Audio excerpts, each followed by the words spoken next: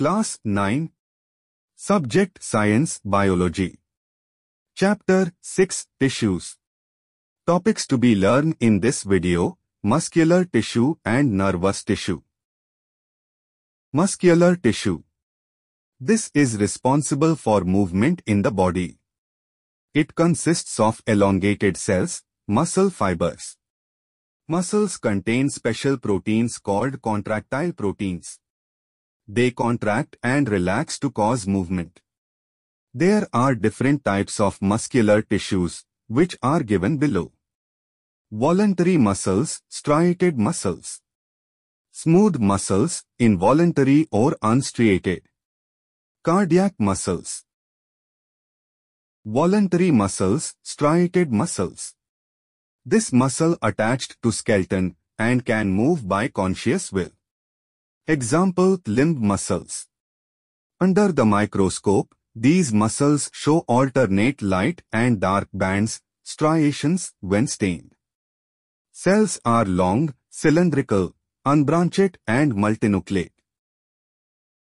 Smooth muscle, involuntary or unstriated muscle. They cannot be moved by conscious will. Striations are absent.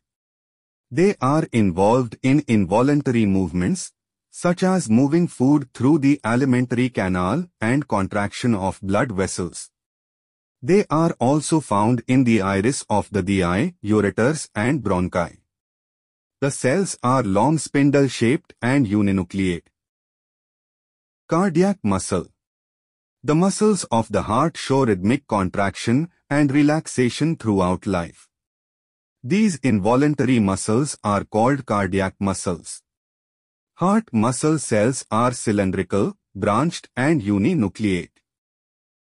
Nervous tissue, all cells possess the ability to respond to stimuli. The cells of the nervous tissue are highly specialized for being stimulated and then transmitting the stimulus very rapidly from one place to another within the body. The brain, spinal cord and nerves are all composed of the nervous tissue. The cells of this tissue are called nerve cells or neurons. A neuron consists of a cell body with a nucleus and cytoplasm from which long thin hair-like parts arise. Usually each neuron has a single long part process called the axon. It has many short branched parts processes called dendrites.